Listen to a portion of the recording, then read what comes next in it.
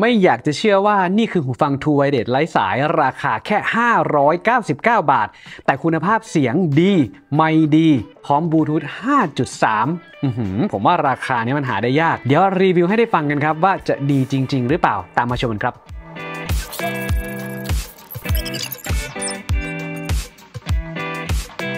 มาพบกับการรีวิวหูฟังไร้สายอีกสักหนึ่งรุ่นนะครับ แบรนด์ของเขาชื่อว่าโทโซครับ เป็นแบรนด์จากประเทศสหรัฐอเมริกา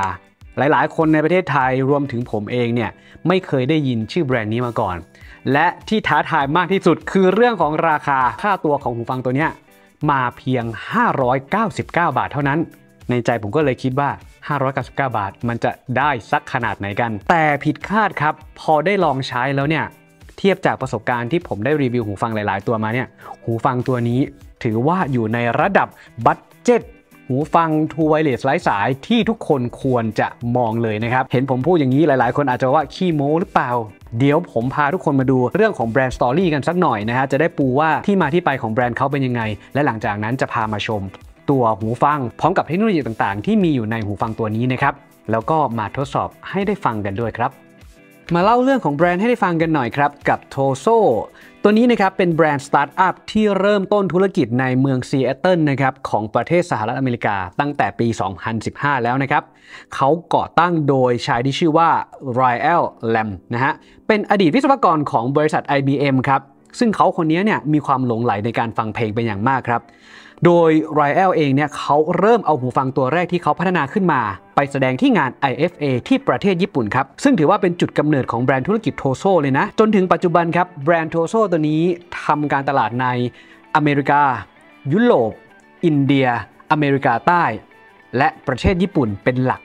ดังนั้นครับในประเทศไทยเราจึงไม่รู้จัก แต่บอกเลยว่าโทโซตัวนี้ ได้รับความนิยม โดยได้ยอดขายนะครับเป็นอันดับต้นๆ1ใน 5 ใน Amazon เลยทีเดียวนะครับดังนั้นครับในประเทศไทยเราจึงไม่เห็นแบรนด์นี้มาทำการตลาดนะครับนี่จึงเป็นการทำการตลาดในช่วงแรก ๆ ของประเทศไทย คราวนี้ก่อนที่จะไปเริ่มรีวิวตัวหูฟัง มาดูสเปคคร่าวๆกันสักหน่อยนะครับของหูฟังรุ่นนี้เป็นอย่างไร หูฟังรุ่นนี้นะครับเป็นแบรนด์ TOZO ในรุ่นที่ชื่อว่า A3 เป็นหูฟัง True Wireless แบบสเตอริโอนะครับสามารถใช้แยกกันอย่างอิสระได้ เรื่องของการเชื่อมต่อหูฟังตัวนี้เนี่ยมาพร้อมเทคโนโลยีบลูทูธ 5.3 บลูทูธนี่จะรองรับการ support HSP HFP A2DP AVRCP ด้วยนะครับ และที่สำคัญเรื่องของ driver ครับ รุ่นนี้เป็นหูฟังที่มาพร้อมขนาด driver 14.2 มิลลิเมตรเลยทีเดียวนะครับ frequency ที่เขารองรับนะครับจะอยู่ตั้งแต่ 20 เฮิรตซ์ไปจนถึง 20 กิโลเฮิรตซ์นะครับ การทนน้ำทนฝุ่นมาพร้อม IPX4 ครับตัวเคสเองมาพร้อมพอร์ต USB-C มีปุ่มสำหรับการกด reset ด้วยนะครับ แบตเตอรี่ตัวนี้นะครับ หูฟังหนึ่งข้าง มาพร้อมแบตเตอรี่ขนาด 35 มิลลิแอมป์ครับ สามารถใช้งานต่อเนื่องนะครับ อยู่ที่ 5 ชั่วโมงต่อการชาร์จนะครับ ถ้าหากว่าใช้งานร่วมกับกล่องชาร์จเนี่ยเคสชาร์จของเขาจะมาพร้อมแบตเตอรี่ขนาด 400 มิลลิแอมป์ครับ การชาร์จเข้ากับหูฟัง และการชาร์จเข้ากับตัวกล่อง จะใช้ระยะเวลาการชาร์จประมาณ 1.5 ถึง 2 ชั่วโมงนะครับน้ำหนักของหูฟังแต่ละข้างนะครับอยู่ที่ 3.3 กรัมเท่านั้น ถือว่าเบามากๆเลยนะ และถ้าหากรวมกับกล่องเคสชาร์จนะครับจะอยู่ที่ 37.5 กรัมเท่านั้น นี่คือตัวกล่องหูฟังครับ แล้วเดี๋ยวผมพาดูกล่องของผลิตภัณฑ์หน่อยว่าเป็นอย่างไร กล่องของเขาเป็นสีขาวนะครับ แล้วก็มีรูปหูฟัง Toso A3 อยู่ตรงนี้นะแล้วก็สเปคอยู่ด้านหลัง เดี๋ยวผมพาไปดูภายในว่ามีอะไรนะครับพอแกะออกมาเนี่ยเราก็จะเห็นเซตของเอกสารแนะนำการใช้งาน ตัวหูฟังปกติจะอยู่อย่างนี้นะครับนี่เป็นหูฟังกล่องเล็กๆ ไม่ได้ใหญ่มาก ถ้าเทียบกับฝ่ามือผมก็จะประมาณนี้ อุปกรณ์ต่อมาก็จะเป็นสายชาร์จครับ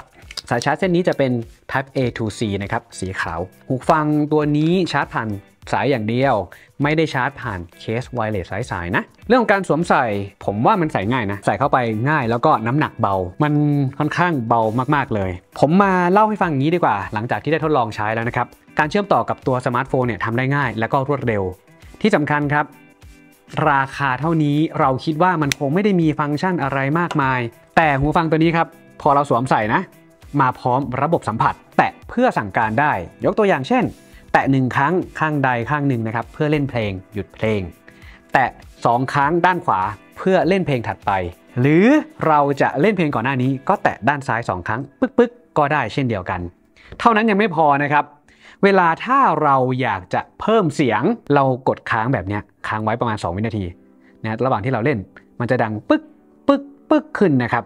มันจะเป็นการเพิ่มเสียง ถ้าลดเสียงต้องแตะด้านซ้าย จะเรียก Siri ก็ทำได้เช่นเดียวกัน แต่ว่าสิ่งที่ขาดหายไปในหูฟังรุ่นนี้นะครับก็คือเรื่องของระบบ Ear Detection มันไม่สามารถที่จะใส่เข้าไปปุ๊บเพื่อที่จะเริ่มเล่นเลย หรือว่าเราฟังเพลงอยู่แล้วเราถอดออกมาอย่างเงี้ยเพื่อที่จะให้เพลงหยุดเล่น อันนี้จะไม่มีนะครับต่อไปเรื่องที่สำคัญมากๆเลย เรื่องของคุณภาพเสียงเอาของเรื่องการฟังเพลงก่อน หูฟัง Tozo A3 ตัวนี้ driver ของเขา 14.2มิลลิเมตร กับค่าตัวที่เทียบมาให้ เกินค่าตัวมากๆ คุณภาพผมบอกเลยว่า ผมสบประมาทเขานะ เสียงจะดีแค่ไหนบอกเฮ้ยผิดคาดเลย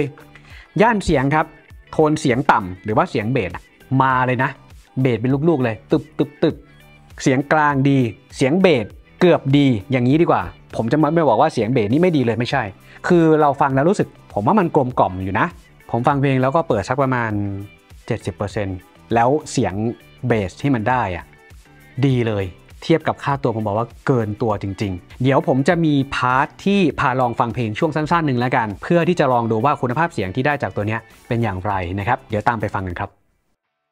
ลองฟังกันนะครับหูฟัง Tozo A3 เปิดเพลงลิงก์ของ NCS ใน Apple Music เริ่มฟังกัน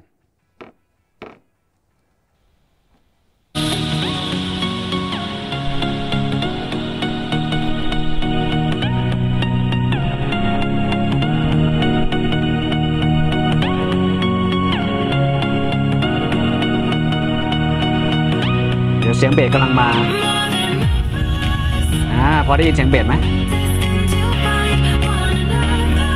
นนี้กลางๆกับไปแหลม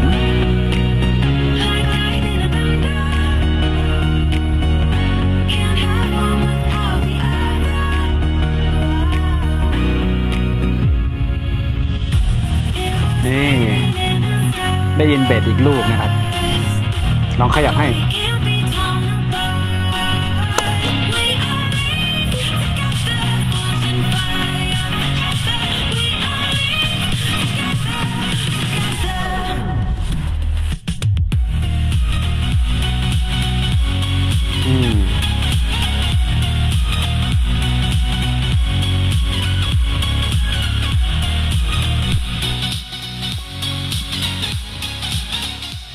อ่าลองนะฮะเข้าใกล้ๆ ก็จะได้ยินประมาณนี้นะฮะอ่าถือว่าไม่ขี้เหร่เลยนะ กับคุณภาพเสียงที่ได้จาก Tozo A3 ตัวนี้ครับ คราวนี้มาลองทดสอบเรื่องของดีเลย์เสียงกันบ้างนะครับ ว่าเป็นยังไงผมลองเล่นเกม PUBG นะครับ มาดูกันนะตอนนี้บนเครื่องบินละเอ้าเอ้าโดดโดดอันนี้คือเสียงที่เราได้ยินเนาะ บอกเลยนะว่าผมเล่นเกมไม่เป็นนะครับ จริงที่อยากจะให้ดูคือเรื่องของว่ามันดีเลย์หรือเปล่านะ เวลาที่เรายิงปืนปั้งปั้งปั้งโอ้ยชนกำแพงเดินไปครับ มีแต่มีดแล้วเนี่ย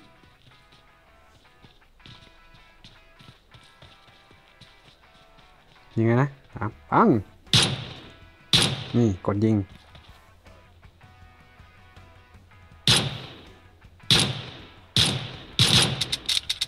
หมดแล้วนะยิงอ๋ออ๋อ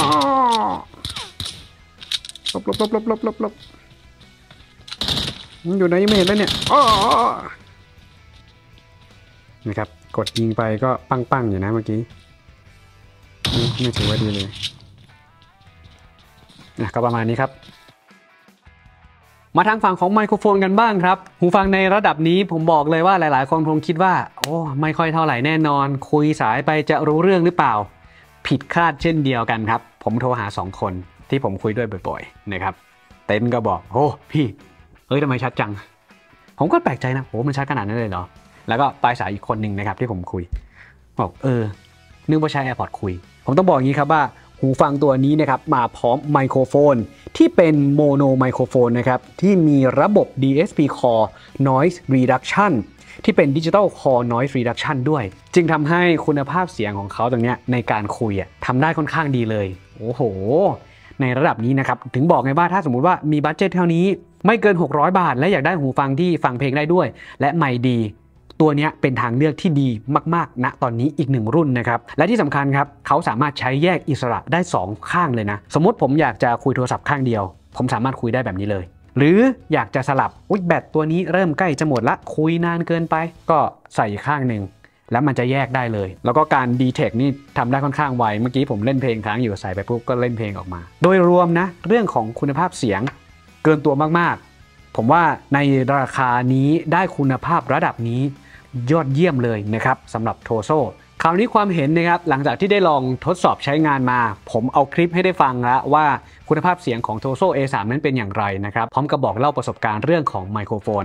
ผมแตะไปถึง AirPods 3 ใกล้ ๆ กันสักหน่อย ถ้าผมให้คะแนนของ AirPods เต็ม 10 นะครับ ใน AirPods 3 นะเต็ม 10 ผมจะให้หูฟังตัวนี้อยู่ที่ระดับ 8.5 คะแนน ในเรื่องของคุณภาพเสียง จะตัดออกไปในช่วงของเรื่องเสียงสูงนะครับที่อาจจะทำได้ไม่ดีพอ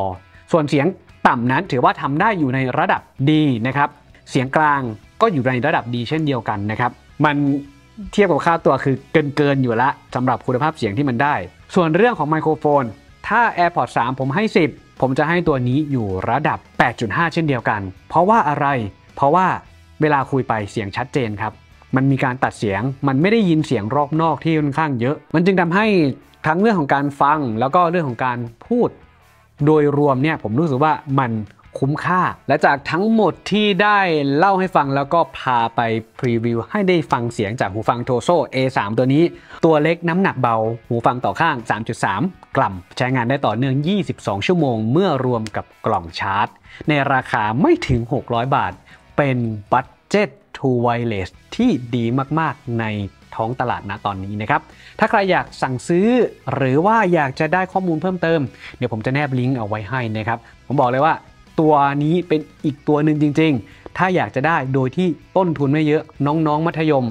หรือว่าใครก็ตามที่ทุนไม่ได้สูงไปจนถึงฝั่งของ AirPods และอยากได้หูฟัง True Wireless นี่เป็นอีกตัวหนึ่งครับที่คุ้มค่ากับแบรนด์ที่ชื่อว่า Toso ในรุ่น A3 ครับ คลิปนี้คงฝากไว้เพียงเท่านี้นะครับ หากใครมีคำถามอื่นเพิ่มเติม ทิ้งคอมเมนต์ไปที่ใต้คลิปได้เลยนะครับ ไว้เดี๋ยวผมมาตอบคำถามเหล่านั้นให้ เดี๋ยวเราพบกันในคลิปหน้าครับ ฝากกดติดตามที่ช่อง iMod Official ของพวกเราด้วยนะครับ เดี๋ยวเราจะมารีวิว แล้วก็อัปเดตข่าวสารอื่นๆ ทั้งวงการของ IT แล้วก็รถยนต์ไฟฟ้ามาให้รับชมกัน ผมต้องไอมดขอตัวลาไปก่อน ขอบคุณและสวัสดีครับ